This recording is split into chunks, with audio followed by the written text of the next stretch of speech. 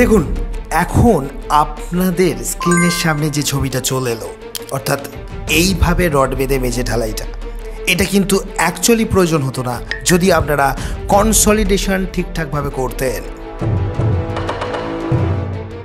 আর তারপর ভিডিওর এক অংশে আমরা দেখতে পাবো সমুদ্র সৈকত থেকে কিছু কথাবার্তা, এই ভিডিও সম্পর্কিত।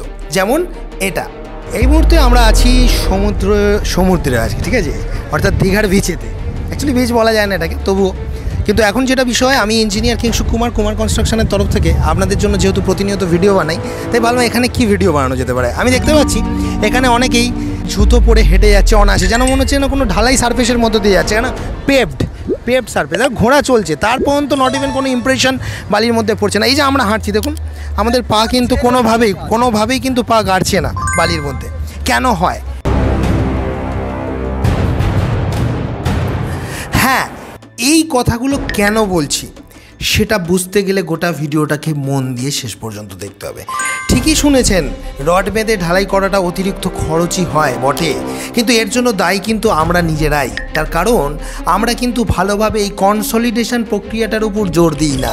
এই যে ছবিটা আমার পিছনে চলছে, দেখতে পাচ্ছি কীভাবে বালিকে জল দিয়ে কম্প্যাক্ট করার পরেও সোলিং করা হয়েছে। নট অনলি দ্যাট তার উপর আবার দেখতে পাচ্ছি আটের রডকে এইভাবে বেঁধে ঢালাই করা হয়েছে। তারপর তো দেখতে পাচ্ছি ঢালাইয়ের উপর ভালোভাবে কিউরিংও চলছে পিছনে ছবিগুলো দেখলেন। এখন ঘটনা হচ্ছে এইখানে রড বেঁধে ঢালাই করার কি প্রয়োজন ছিল? এখানে প্রয়োজনটা পড়ে আমরা ফাঁকি বাজ বলে, আমরা ফাঁকি মারি বলে। তাহলে চলে আসুন, ভিডিওটাকে শুরু করি। কনসলিডেশন প্রক্রিয়াটা কাকে বলে? অর্থাৎ আমরা যখন বাড়ি নির্মাণ করি, তার প্লিন্থ লেভেল পর্যন্ত, অর্থাৎ মেঝে থামাল পর্যন্ত ভরাট করার জন্য আমাদেরকে কিছু না কিছু দিতে হয়। এখন অনেকেই আমাদেরকে প্রশ্ন করবে, দাদা, কি দিয়ে ভরাট করা যায় বলুন তো? আমি বলব, তাদেরকে বালি দিয়ে ভরাট করা যেতে পারে। আমি তাদেরকে বলব, মোরাম দিয়ে ভরাট করা যেতে পারে। আমি বলব, তাদেরকে মাটি দিয়ে ভরাট করা যেতে পারে। But the soil should be selective selective কথাটার মানে হচ্ছে বাছা সয়েল বাছা মানে যে কোনো সয়েল দিলে হবে না। ধরুন যেগুলো এক্সপ্যান্ড করে, বেড়ে যায়, যেমন ব্ল্যাক কটন সয়েল বুঝতে পারছেন না? অর্থাৎ যেগুলো পাঁকের মতো দল দলে মাটি, সেগুলো কিন্তু দেয়া যাবে না। যেগুলো ঝুড়ো মাটি, যেগুলো চাষের মাটি, সেগুলোকে দেয়া যেতে পারে, তার একটা শর্ত আছে। ওই ধরুন ছয় ইঞ্চি এক ফুট লেয়ারে লেয়ারে কম্প্যাক্ট করতে হবে। আপনাদেরকে যদি বলি যে মাটি দিয়ে আপনি ফিলিং করতে পারেন, খুব আনন্দ লাগে, তাই না? কারণ মাটির দাম তুলনামূলকভাবে কম। কিন্তু মাটি দিয়ে ফিলিং করুন কিংবা বালি দিয়ে ফিলিং করুন কিংবা মোরাম বা মোরাম যাই বলেন না কেন, সেটা দিয়ে ফিলিং করুন। আপনাদেরকে কিন্তু ছয় ইঞ্চি থেকে এক ফুট লেয়ারে লেয়ারে ফিলিং করতে হবে। এখানে তথাকথিত কিছু কিছু মক্কেল, কিছু দেখা যাবে জাঁতরেল কিছু দেখা যাবে গাঁজাখোর ইঞ্জিনিয়ারের দল বলবে দাদা আয়েস কোর্টে তো বলা আছে, দুশো এম এম লেয়ারে লেয়ারে ফিলিং করার কথা। আপনি আবার ছয় ইঞ্চি বা এক ফুট লেয়ারে বলছেন, আরে ভাই প্র্যাকটিক্যাল বিষয়টা বোঝার চেষ্টা করো। যখন লেবাররা মাটি বা বালি ফিলিং করে, তোমার মানে পাগল আছো নাকি? যে তারা ফিতে দিয়ে মেপে মেপে ওরা ওই দুশো নিয়ম মেনে মেনে ফিলিং করবে, পারবে না। দুনিয়ার কোনো জায়গায় কোনো লেবার অত নিয়ম মেনে ফিলিং করতে পারে না। মোটামুটি একটা স্ট্যান্ডার্ড যদি ধরে নেওয়া যায়, ছয় ইঞ্চি থেকে এক ফুট, কাজের জায়গাটা বুঝতে হবে, কোনটা প্র্যাকটিক্যাল কোনটা ইমপ্র্যাকটিক্যাল বেশি থিওরি মারাতে এসো না। ইঞ্জিনিয়ার কিংসু কুমার তোমাদের মতোকে কান মুলে প্রতিদিন শেখায়। ভালো করে বোঝো।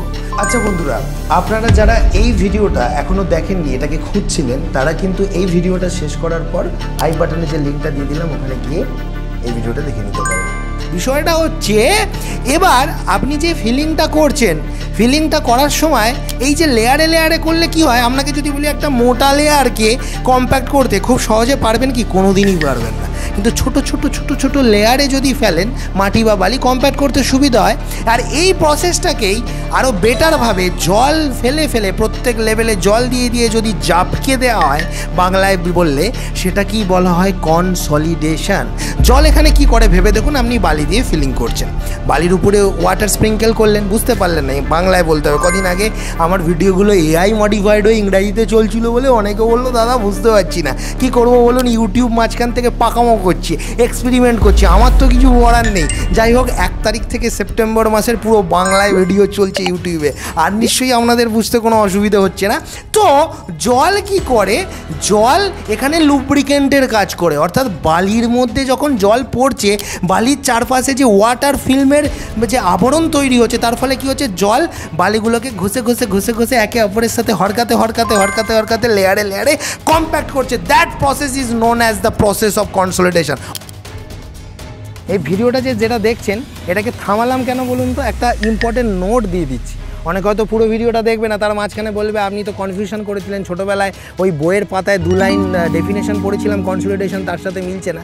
আসল ব্যাপারটা হচ্ছে, ওই দু লাইন দু মানে ওই পুঁথিগত বিদ্যার সাথে প্র্যাকটিক্যাল অভিজ্ঞতার এটাই তফাৎ। বইয়ের পাতায় তোমরা পড়েছিলে যে কনসলিডেশন কাকে বলে?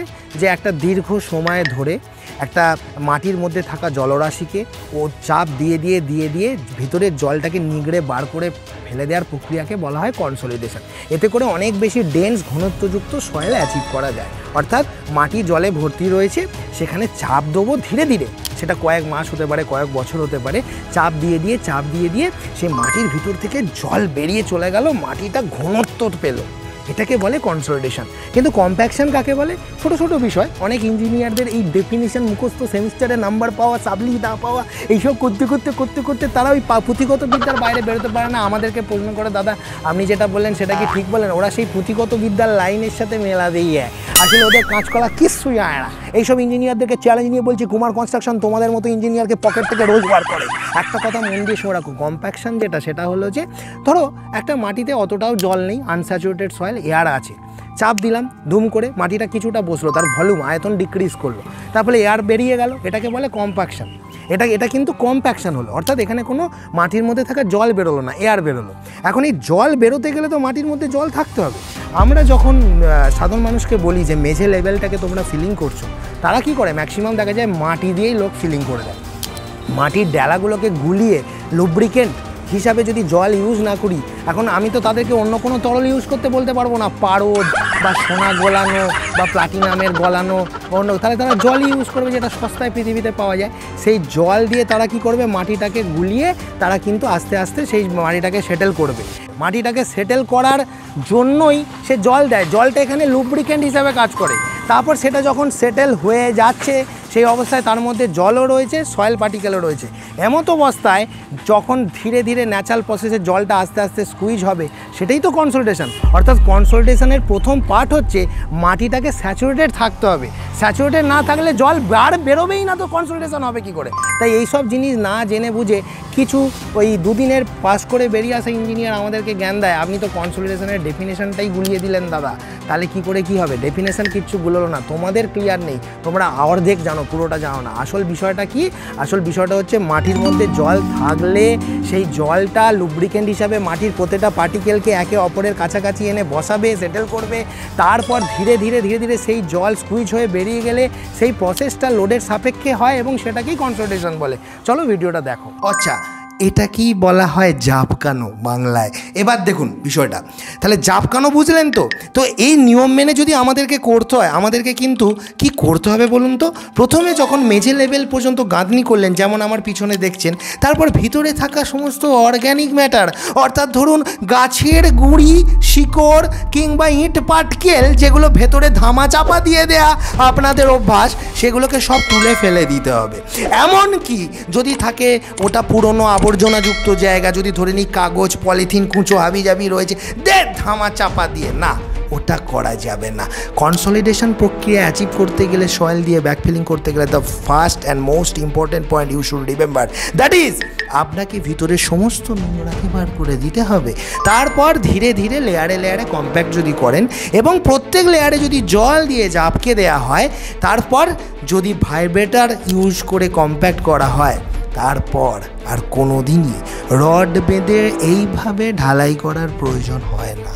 কিন্তু দুর্ভাগ্যের ব্যাপার, আমরা কেউই এই প্রসেস মেনে করি না। তাই জন্য ইঞ্জিনিয়ার হয়ে তোমাদের ফাঁকিবাজিটাকে অ্যাডজাস্ট করার জন্য আমরা বলি যে, যদিও আপনারা বালি দিয়ে ফিলিং করছেন, এক কাজ করুন, কমা হলেও রড কিনে এনে এইভাবে বেঁধে মেজে ঢালাই করুন। এখানে অনেক বেশি বোঝা ইঞ্জিনিয়াররা বলে যে পিসিসি করে দিলেই চলে যায়, সেখানে আপনি ইঞ্জিনিয়ার হয়ে আরসিসি করাচ্ছেন, অর্থাৎ রড বেঁধে ঢালাই করাচ্ছেন। এবার বুঝতে পারছেন কেন আমাকে এই রড বেঁধে ঢালাই করতে হয় এই ফাঁকিবাজিগুলোর জন্য? তাই ইঞ্জিনিয়ারের মতো যারা ইঞ্জিনিয়ার, যারা প্রকৃত ইঞ্জিনিয়ারিংটাকে গুলে খেয়েছে, তাদের কথা যদি মেনে চলেন, তাহলে এই ভিডিওটা মন দিয়ে দেখুন। আর এই কনসলিডেশনটাকে আরও ভালোভাবে বোঝার জন্য আমি চলে গিয়েছিলাম দীঘার সমুদ্র সৈকতে, আর সেখানে গিয়ে সমুদ্রের উপরে হাঁটতে হাঁটতে আমাদের জন্য এই ভিডিওটা যেটা বানিয়েছি সেটা দেখে নিন।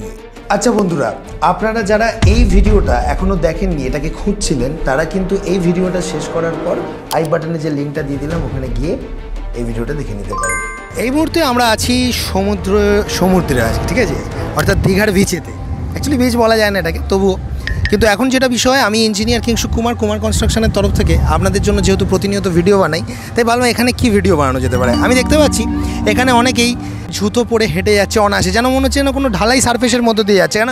পেভড পেভড সারফেস ঘোড়া চলছে, তার পর্যন্ত নট ইভেন কোনো ইমপ্রেশন বালির মধ্যে পড়ছে না। এই যে আমরা হাঁটছি, দেখুন, আমাদের পা কিন্তু কোনোভাবেই কোনোভাবেই কিন্তু পা গাড়ছে না বালির মধ্যে। কেন হয়? এটাই হচ্ছে কনসলিডেশন এবং বাচ্চাদের যে খেলনা গাড়িগুলো দেখতে পাওয়া যাচ্ছে, ওরা ওখানে চালাচ্ছে। একটু দূরেও দেখুন, ওখানেও দেখতে পাচ্ছি। কিন্তু গাড়ি কিন্তু অনায়াসে চলছে। আমাদের মনে প্রশ্ন আসলে যে বালিতে তো গেড়ে যাওয়ার কথা। এটাই হচ্ছে কনসলিডেশন যখন আপনারা মেজে লেভেলের বালি দিয়ে ফিলিং করেন, তখন সব থেকে যেটা বড় ব্যাপার হচ্ছে কি, আমরা বলি যে দশ ইঞ্চি বা এক ফুট অন্তর অন্তর যে ফিলিংটা আপনারা করছেন, সেখানে কিন্তু জল দিয়ে আপনাদেরকে এই কনসলিডেশনটা করতে হবে। তার ফলে কি হবে? সব থেকে যেটা বড় ব্যাপার, তার ফলে বালি এতটাই হার্ড হয়ে যাবে। এর মধ্যে কোনো এয়ার গ্যাপ থাকবে না। বিষয়বস্তুটা আশা করি আপনাদেরকে বোঝাতে পড়েছি তো দেখতে থাকুন এই ভিডিওটি। কি বুঝলেন? কি বুঝলেন? বুঝতে পারলেন? তাই কনসোলিডেশন যদি সঠিক করেন, যেটা এই কিছুক্ষণ আগে সমুদ্র সৈকতের ভিডিওয়ে দেখলেন, সেটা যদি সঠিক করা থাকে, তাহলে রড বেঁধে ঢালাই করার প্রয়োজন হয় না।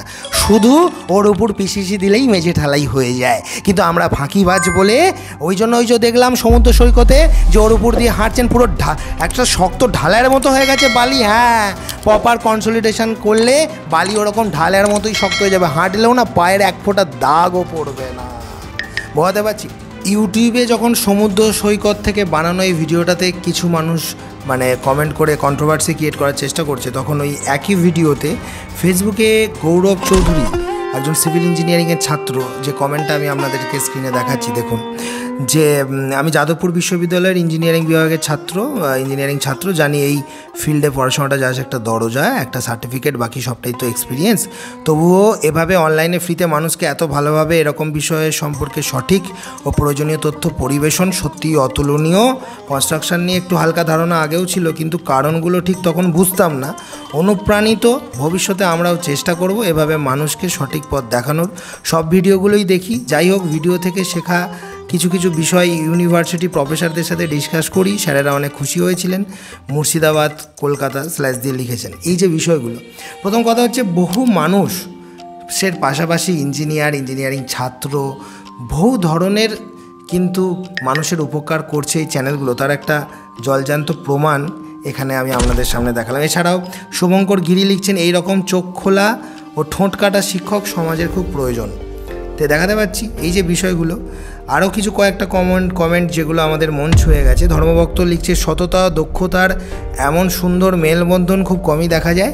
কিংশু কুমার স্যার শুধু একজন সিভিল ইঞ্জিনিয়ার নন, তিনি আমাদের সততার শিক্ষা দিয়েছেন।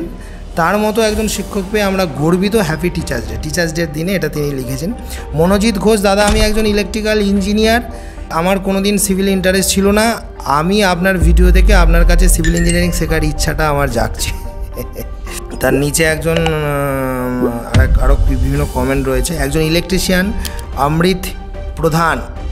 দাদা, আমি ইলেকট্রিশিয়ানে কাজ করি, কিন্তু আপনার ভিডিও খুব মন দিয়ে দেখি। সে আর এক জায়গায় সে লিখেছে, ওই আমার দেখা সব থেকে ভালো মানুষ, অমৃত প্রধান। দুটো কমেন্টই আমি আপনাদেরকে দেখালাম।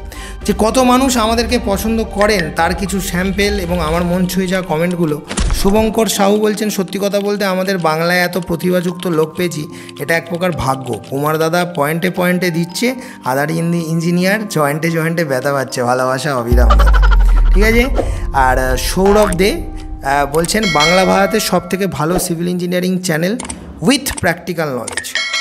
Okay, আর একজন লাস্ট যেটা আমি বলব, কৃপা সিন্ধু, দাদা নমস্কার, আমি mechanic foreman underground metro project Afcons কোম্পানিতে উত্তরপ্রদেশে আপনার ভিডিও ছ মাস ধরে রোজ দু থেকে চারটি করে ভিডিও দেখি।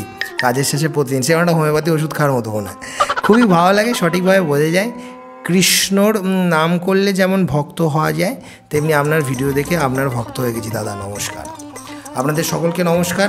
আপনারাও ভালো ভালো থাকুন, ভালোভাবে এই ভিডিওগুলো দেখতে থাকুন। এই বিষয়টা এটা প্রমাণ করে যে কুমার কনস্ট্রাকশন মানুষের মনে কি জায়গাটা তৈরি করছে। অনেকেই মনে করে যে এই যে কিংসুক দা কুমার দা আপনারা আমাকে যে নামেই ডাকেন না কেন, এনার সাথে যোগাযোগ করব কি করে? বা এই কুমার স্যারের সাথে যোগাযোগ করব কি করে? আমাদের যে হোয়াটসঅ্যাপ নাম্বারটা আছে, ওখানে লিখুন যে স্যারের সাথে একটা অ্যাপয়েন্টমেন্ট চাই বা স্যারের সাথে কথা বলতে চাই। আমাদের টিমের তরফ থেকে একটা বারকোড পাঠানো হয়, সেখানে ন্যূনতম একশো টাকা একটা ফিজ নেওয়া হয়। আমার সাথে সরাসরি আপনার সমস্যার বিষয়ে আলোচনা করার জন্য, সমস্যা বাড়ি নির্মাণের বিষয়ে বহু রকম হতে পারে। যারা সাধারণ মানুষ, যাদের মনে হচ্ছে যে পয়সা খরচা করতে পারব না, বেশি টাকা লাগে ইঞ্জিনিয়ারকে বাড়িতে ডেকে আনার জন্য, ছোট ছোট বিষয়গুলো সাজেশন নেওয়ার জন্য আপনি অনলাইনেই শুধুমাত্র একশো টাকা খরচা করে দশ মিনিটে আমার সাথে পরামর্শ নিয়ে আপনার বাড়িটাকে সুন্দর করতে পারেন তবে দেখুন, কুমার কনস্ট্রাকশনের নাম ভাঙিয়ে কিন্তু অনেকেই আপনাদেরকে বিভ্রান্ত করতে পারে। আমাদের যে হোয়াটসঅ্যাপ নাম্বারটা, যেটা পিছনে চলছে double nine double three one five double eight double nine এটাই আমাদের ব্যক্তিগত নাম্বার। এখানেই আপনারা প্ল্যান বানানোর জন্য বা অন্য যে কোনো বিষয়ে যোগাযোগ করবেন। তবে হ্যাঁ আমাদের এই গেম চেঞ্জিং ভিডিওগুলো পেতে আমাদের যে কুমার কনস্ট্রাকশন ফেসবুক পেজ রয়েছে, সেটাকে ফলো করতে পারেন। আর আমাদের কুমার কনস্ট্রাকশনের ইউটিউব চ্যানেলটি সাবস্ক্রাইব করে রাখলে আপনাদের বাড়ি কিন্তু ভালো হবেই। এই ছিল আজকের ভিডিও আমি ইঞ্জিনিয়ার কিং সুকুমার এরকমই গেম চেঞ্জিং ভিডিও বাংলায় বানাতে থাকি। এরকমই গেম চেঞ্জিং ভিডিও আরও পেতে আমার চ্যানেলটিকে অতি সত্তর সাবস্ক্রাইব করুন, মাঝের বাটনটি টিপে। আর এই যে দুটো ভিডিও আপনাদের স্ক্রিনের সামনে চলে এলো, গিয়ে দেখুন। ভালো থাকবে